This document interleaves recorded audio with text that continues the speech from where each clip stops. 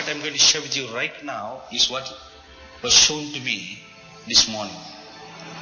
The first statement he said is this This nation's hypocrisy will be torn, it will be torn apart. Its leaders are pretending. President Obama will be punished. They are making many evil plans in secret against their people. He gathers with his favorite advisors and some influential wealthy people in hidden underground places to make plans. His palace will burn with fire.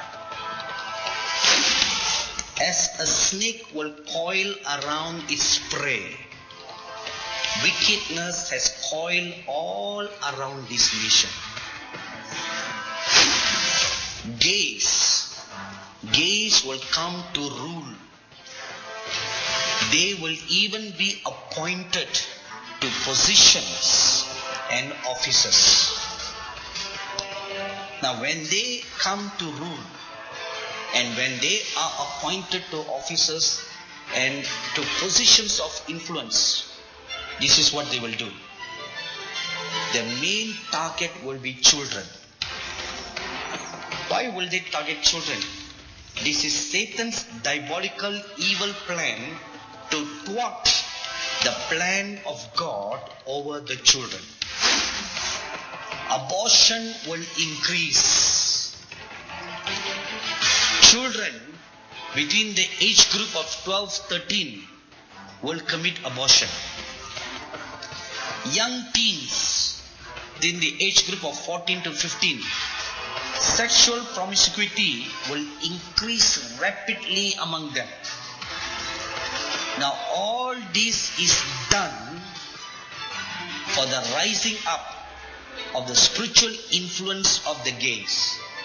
Because of the spiritual influence of the gays, this kind of abortions and sexual promiscuity will increase rapidly among the younger targeted group.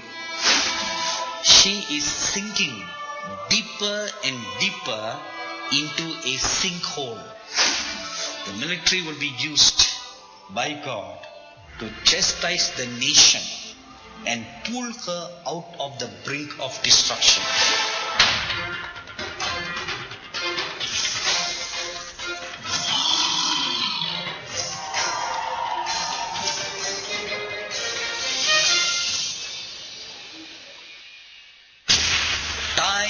Delay no longer.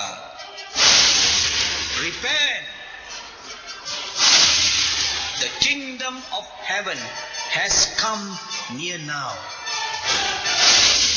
Prepare to meet the Lord your God.